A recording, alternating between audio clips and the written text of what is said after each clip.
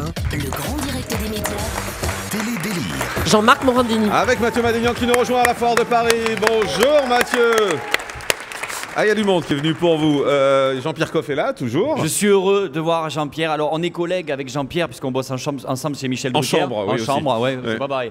Alors, Jean- euh, rassure-toi, Jean-Pierre, aujourd'hui, je te charrie pas, d'accord? Tiens, Tu morphes tous les dimanches, donc pas de vanne sur ta veste ridicule et tes lunettes assorties. hein? oui, on dirait une citrouille, sérieux. Fais attention, c'est impressionnant. est Alors, en on est à la rouge. Foire de Paris, car Europe 1 est partenaire. Et ce qui est bien, c'est que quand on est à l'extérieur, comme ça, on peut tester notre popularité. Par exemple, Jean-Marc, entre la porte d'entrée du salon et le studio, tu mis une heure pour traverser parce que tout le monde te demandait des autographes. Voilà. Moi aussi, il y a un mec qui m'a arrêté, mais c'était pour me demander mon billet d'entrée. Oui, parce que je suis le seul mec de la radio qui ait payé son billet d'entrée 12 euros. Autant te dire qu'aujourd'hui, je viens bosser gratuit parce que c'est ce que je gagne.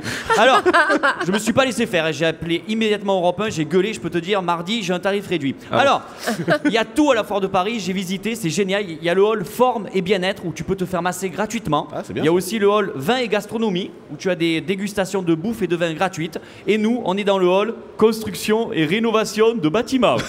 voilà. Alors j'ai compris, Jean-Marc, tu vas refaire ta baraque, c'est pas possible. C'est un peu ça, oui. Non mais sans déconner, heureusement qu'on est partenaire, on l'aurait fait où l'émission aux chiottes Alors. Alors, je- ils vont Ça être va heureux. pas, Ils non vont on va être heureux, les gens de la Foire de Alors, Paris. je de votre visite. critique, Bon, je enfin. critique, mais à la fin de la journée, je me serais pas, je me serais pas fait masser, j'aurais sûrement rien bouffé, mais par contre, je pourrais vous construire facile un faux plafond avec isolation phonique en moins de 20 minutes. mais ça se voit direct que les halls sont différents. Au hall bien-être, tu as des masseuses qui t'attendent avec le sourire.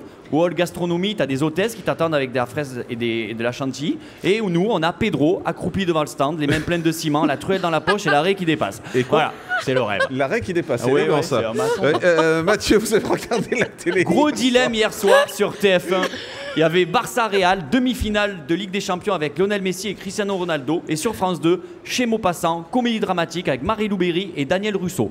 Voilà, franchement, j'ai hésité. Ah bon ouais, j'ai hésité à continuer à payer ma redevance télé pour que France 2 programme des trucs comme ça. Sérieux, même pendant les mi-temps du match, j'ai préféré regarder les pubs pour te dire. Non, j'ai j'ai regardé un petit peu Pékin Express sur M6. Ah oui, c'était bien ça. Alors c'était pas mal, c'est des mecs qui doivent traverser toute l'Afrique avec seulement 1 euro par jour en se faisant aider par les populations locales.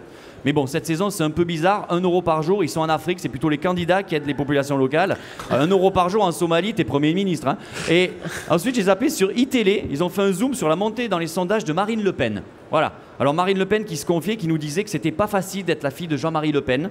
Oui, encore elle a de la chance, ça aurait pu être pire, elle aurait pu être noire. Et dans le reportage, Marine Le Pen disait que son programme ressemblait à celui de Nicolas Hulot. Bon, j'ai des doutes, mais ça doit être marrant un écolo raciste. C'est quoi son programme? Bon, alors les bouteilles en verre, c'est dans la poubelle jaune, le plastique, c'est dans la poubelle verte, et les arabes, c'est dehors. Voilà. Alors, Oh un des là. journalistes expliquait que les gens qui votaient FN, c'était un vote de protestation. C'est une manière pour eux de montrer qu'ils n'étaient pas contents.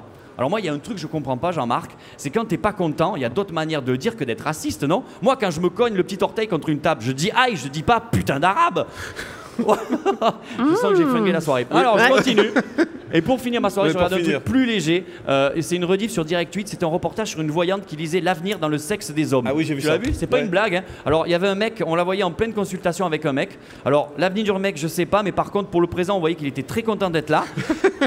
Alors, Jean-Pierre, je sais que tu es branché voyance, hein, tu m'en as parlé, et euh, je te filerai son portable, cette voyante, mais je t'ai vu une fois chez Drucker dans la loge en train de te changer. Je peux te dire, Jean-Pierre, moi, t'as pas trop d'avenir. Voilà.